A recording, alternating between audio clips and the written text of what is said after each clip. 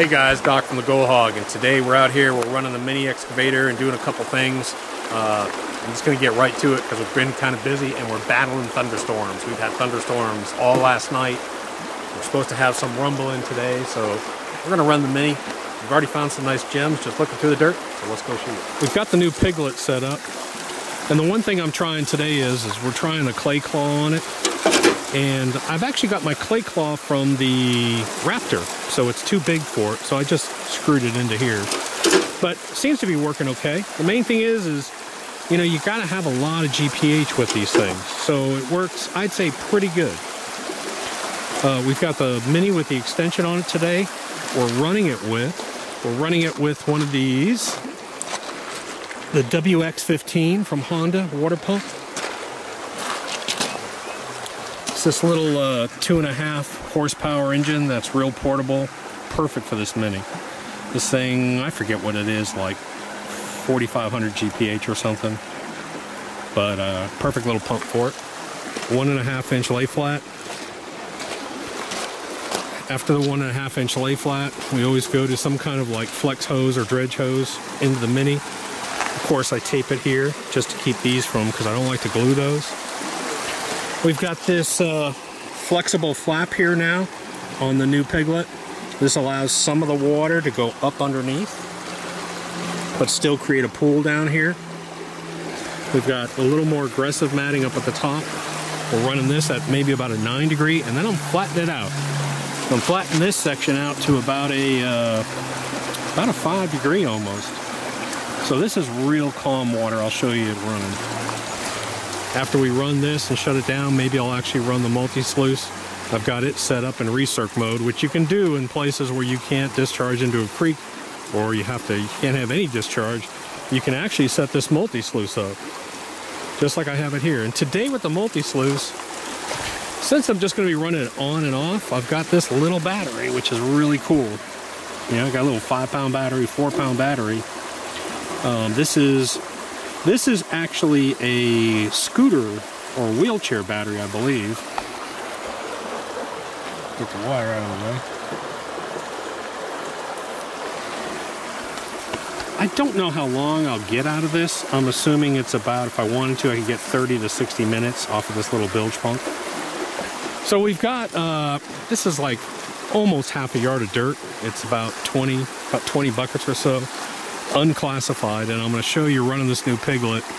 Uh, this thing, as far as a Mini goes, this unit moves more material than any Mini on the market. You don't have to classify, you can move a lot of dirt, and I'll show you that here in a minute.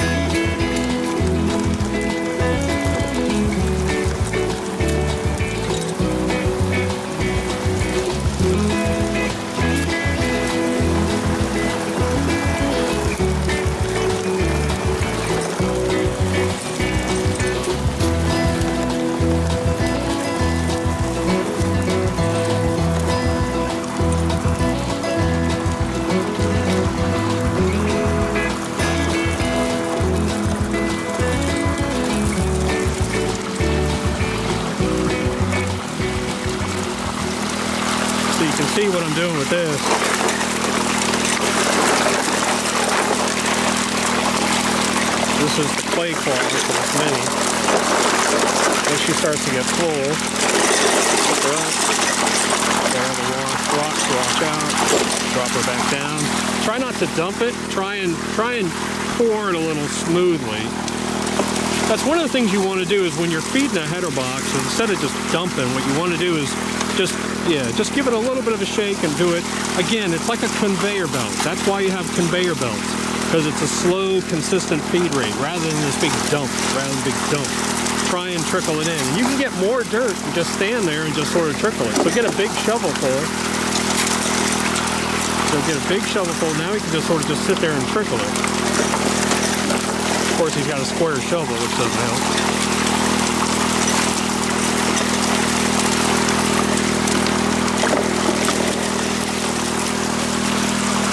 What I'm trying to do is I'm trying to keep this slurry pretty consistent. It's a high slurry viscosity. All right, hold up. So now I'm going to come in here, move my rocks around a little bit. They look fine. Let them work out. All right, hold up.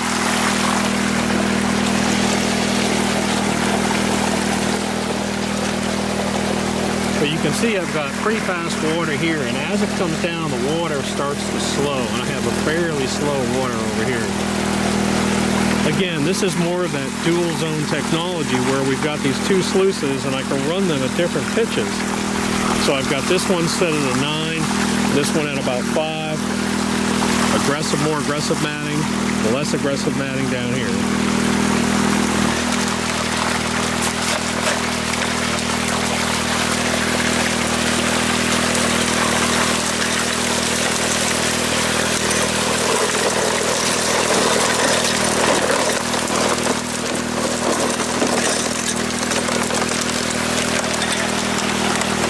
This is one thing I want to show you. Is the nice thing is, is you don't have to classify with this unit. You've got all kinds of large rocks in here. Leave them in there till they're clean. Lift up your clay claw. Let them run out. They'll all fall at the back. Sit here. We can look for some gems. A piece of obsidian. Now, if you're in a heavy, heavy clay area, here, take that gem. You're gonna always have these. These are little clay balls. And what we do is we just let them sit. We were talking about this earlier. We just let it all sit here and break down. And then what Brandon will do, Brandon, take a scoop of that. Take a scoop of that after it's been sitting there for a while, and then just trickle it in the box. And we just rerun this muck. Because you know you're gonna have a little bit of gold in that muck and it'll clean it off. You'll be able to see gems, a piece of rutilated quartz. And you'll be able to see all your gems. Like a sapphire. But now everything comes out really clean. You can just sit here and pick out gems if you got gems in your area. Or else you'll know that you've got, you know, all that gold out of this dirt down here again, we only do that, you know, every few, every uh, 20 minutes or so, you know, grab a scoop of this stuff and clean it.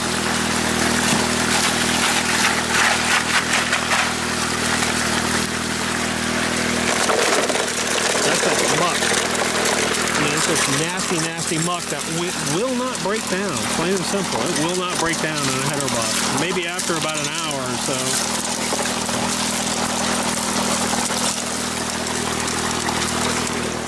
Okay guys, so uh, we ran, I don't know, we ran probably about 30, 35 buckets. There's still a little dirt over there, but I wanted to shut down before a thunderstorm came by because I want to do a clean out and then we'll go back to running. But I wanted to show you real quick, when you shut down your unit, do what I call concreting your mat. We're gonna tilt it and all the water is gonna run down one side. Oops. So what I'm gonna do is I'm gonna tilt my unit all my water is going to go over to one side and down. And all my water is going to drain out. And now what that does is that concretes up my mat. And what that means is, is now when I pull my mats out, there's not water washing back and forth in these mats, and it's solid. I don't have to worry about the gold going anywhere. All right, so let me show you about tuning. So the water's almost a little too fast here, and this is Razorback right there. I see a little bit of black sand. I'm okay with that. But here, see this downdraft? There's a little bit of black sand. I'm okay with that. What I really like to see, see this right here? Well, that's a Razorback, and that has that good little buildup of fine black sand. Same thing, this downdraft right here and that downdraft right there. So what you want to do is you want to tune my lowest velocity mat in here is going to be my downdraft. I want to make sure that I see a little bit of fine black sand in my downdraft. Yes, the Razorback looks impacted. What are all these rocks doing here? That's okay, just forget about it. They're active, they're moving around. The gold is falling behind there. Same thing here. Look right here. Look at that razorback. Look at all those rocks there. Don't worry about it. As long as this mat is tuned, then you're good. Now, I was talking to these guys over here and I came up with a good little sort of way to describe this. We've got all these different mats going through our sluice, all different velocities, all different capture zones, all different size, whatever.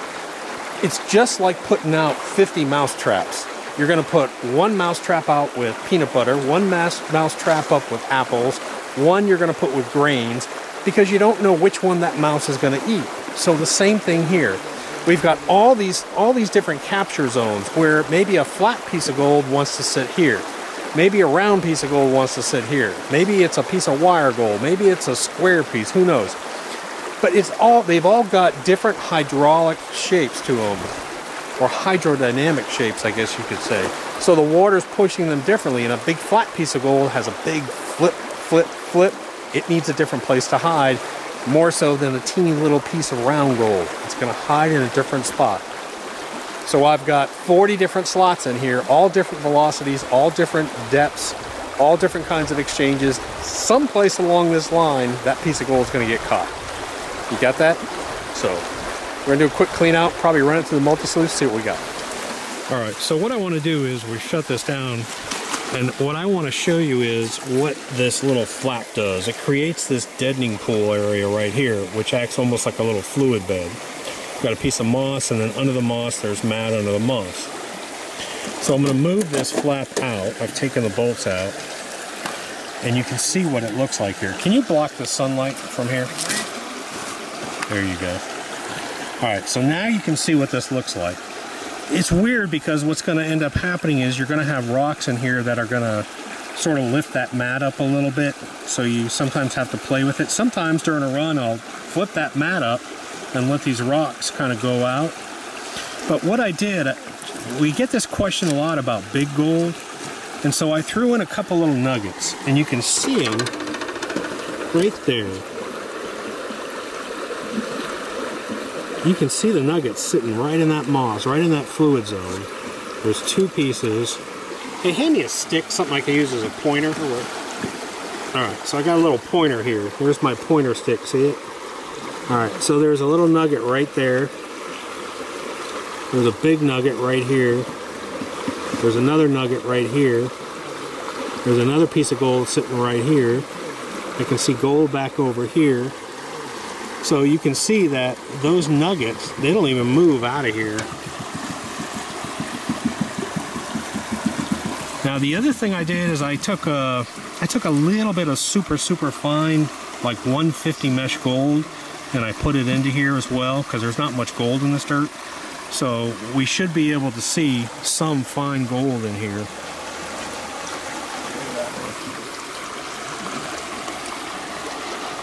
That's a cool little nugget there. Again, but I wanted to prove that point that, you know, you'll have, like this is a topaz. Up in this deadening zone, you'll have, if you have any big nuggets, they'll usually be right here or right in this first six to eight inches. And then as we go down, we'll see finer and finer gold as we go down. Again, the mousetrap theory. All right, so let me show you why I don't like to classify too much. See these little pieces of gold here? Those little pieces of gold were sitting on top of this 1 8 inch screen. Now these are some of the pieces I added. But you can see that they would not go through that classifier. You know, you may only find one once a month, but how much time you got to spend looking through this stuff. Unfortunately, we don't have a lot of concentrate, but I mean, there's a little ruby sitting there.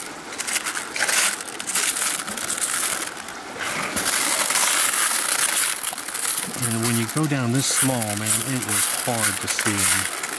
Especially if this thing, you know, was half full, it'd be almost impossible. That's why we don't like to classify right there.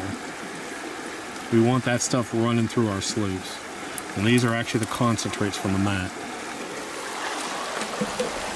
All right, I really don't have a lot of concentrates, but I figured I'd just go ahead and just run them through the multi-sluice real quick. Why not? Again, I wanted to test out this little battery.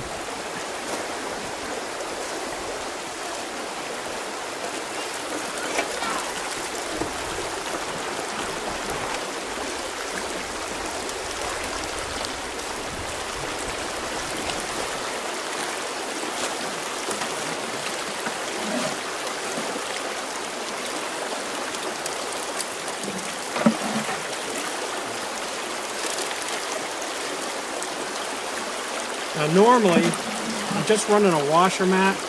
Normally I would classify down to 12 or 20 mesh. I'm just playing around today, so I took it to eighth of an inch because I don't have a lot of concentrates, so I think I'll be okay. We'll find out.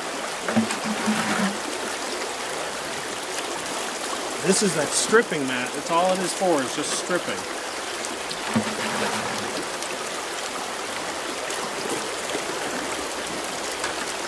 Stripping all that black sand out.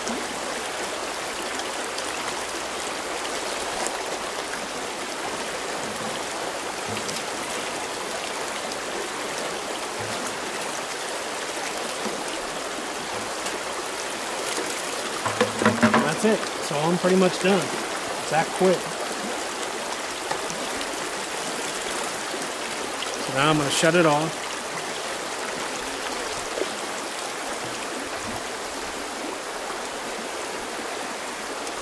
my header box. I can see gold. Alright, well before I pull this mat out, let me show you what I'm talking about here. Again, this upper portion should be extremely turbulent and I should have almost zero black sand, but I should be able to see gold. And I can see gold in there, I can see fine gold in there, and there's a little piece right there and I'll see a little bit of gold in here. And as I go down on this thing, I'll see less and less and less gold and a little bit more black sand as this sluice calms down. But anyways, I wanted to show you the fine gold that was caught in the mini after running through multi-sluice. So let's wash this out. All right, so let me explain. We took half a ton of material. We took the half ton down to about two cups we took the two cups through the multi-sluice down to about two tablespoons. Now I'm just going to pan this out.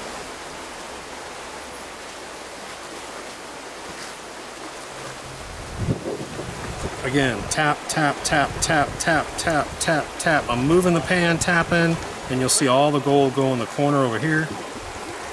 Spread it out.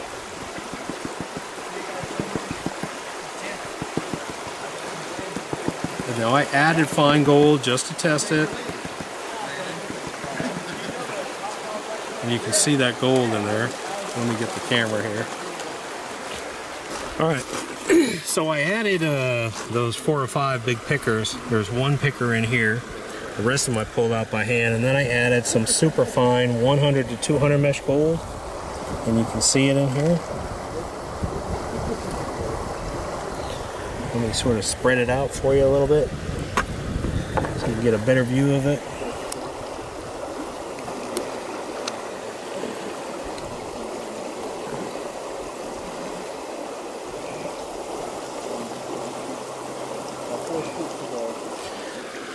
And that's probably about half a gram of 100 to 200 mesh gold in there. So once again, she performed just perfectly all the way getting those big nuggets down to that super fine gold. Again, multiple mouse traps, multiple mouse traps, different sized mice, different mouse, mouse with different taste. That's what we're that's what we're looking for. We're looking for exposure zones that vary so I can catch big gold and small gold at the same time.